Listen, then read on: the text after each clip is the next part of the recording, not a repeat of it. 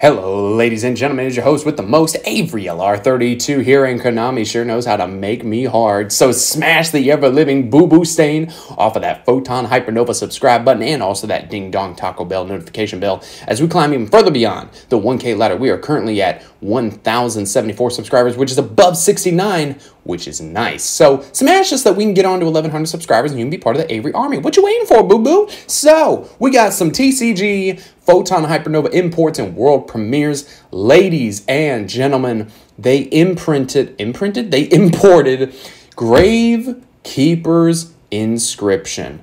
Now, let me click on the card here. Hopefully my recording won't stop. It says, at the start of your main phase one, apply one of the following effects until the end of your opponent's turn.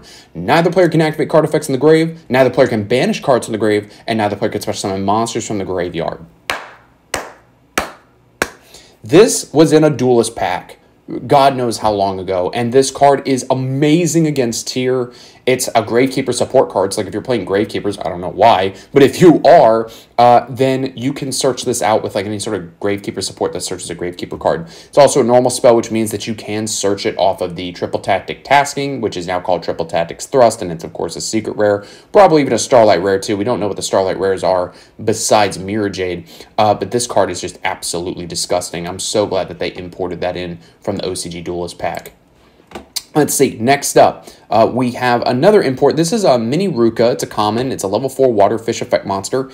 Uh, spoiler alert, it actually really sucks. 1500 attack, 500 defense, and it says when a water monster's effect is activated, quick effect, you can special summon this card from your hand. You can banish one face-up fish, sea serpent, or aqua monster you control, then target one face-up card on the field. Negate its effects until the, the end of your opponent's turn. You can only use each effect once per turn. This sucks because it's not a quick effect on the negation. It's only a quick effect on the summoning, which is just kind of irrelevant. So, I mean, Kraken Control can't keep up with tier, and by extension, Kashtira anyway. But I mean, for a casual deck, sure. But I, I wouldn't pick it up. It's kind of booty. Next up, we have Orpheal the Harmonious Bullfighter Bard. Try saying that 10 times fast. It's a level 8 Light Beast Warrior Effect monster with 3,000 attack, 2,400 defense, and it can't be normal summoner set. Must be special summoned from your hand by banishing two light and two dark monsters from your hand and or graveyard, except this card. If you summon it this way, then it gains a 1,000 attack for each monster banished from your hand for its summon. So literally, you just banish two monsters from your hand and it's 5,000 attack. And it can attack monsters a number of times each battle phase up to the number of monsters banished from the grave for its summon. If this card destroys an opponent's monster by battle, after damage calculation, you can banish that opponent's monster. This card seems really disgusting in theory. Um, two light and two darks. I, I, I don't know. I don't know that that that kind of seems a bit pricey, but we'll have to wait and see. I'm still stuck on the Gravekeeper's in inscription. Like this is the best port that they could have done because this card's just insane. Which honestly makes me worried that we may not get a ban list until the end of February because Konami may be saying, look, you're in a tier zero ass cheek format. Let's give the TCG another card to fight tier. And it's like, you could give us 20 options, but our side deck's only 15 cards. And even though we may have 20 different plus options, you know, that's going to hurt the consistency of your deck if it doesn't help progress your game state. So, like, can we just have a ban list, please? Like, I was really thinking it was going to drop today on the 27th, and it didn't. Um, at least at the time of making this video. Next up, we have Diabolantis, the Menacing Mantis, which is also a common. It's a level 8 Dark Insect Synchro Effect Monster, 2500 attack, 2200 defense, 1 tuner plus one more non-tuner, so it's generic. And if this card is synchro summoned, you can you can send it says send, but send insect and or plant monsters from your deck to the graveyard up to the number of non-tuners used for its synchro summon. If you control this synchro summon card, you can target one insect or plant monster you control, treat it as a tuner until the end of this turn, and you only use each effect of Mantis once per turn. Um, I think Naturia just like shit their pants at the other side of the room. Like this card is disgusting in Naturia. You dump the Naturias that you need into the grave, uh, or hell, and even like in the insect like stun deck or whatever was a thing like a year ago. This this card seems really good. Next up, we have XYZ Align, which is a quick play spell. You declare a level from 1 to 12, then target two face-up monsters on the field, including one monster you control. They become the declared level until the end of this turn. Also, for the rest of this turn after this card resolves, you cannot special summon monsters from the extra deck except monsters with the same type as a targeted monster. You only activate one Align per turn.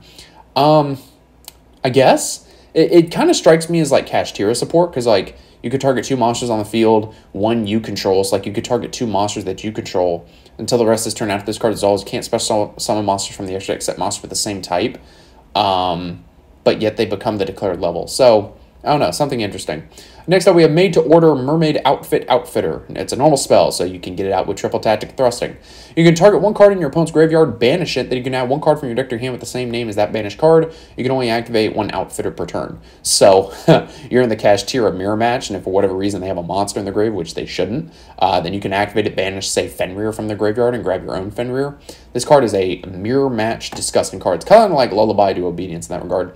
Then we have all the Gold Prides. They're like literally Gold Pride Leon's a secret rare. Then you have a Super, Ultra, Ultra, a Common uh, for the Link monster, which just looks like a buff Chad.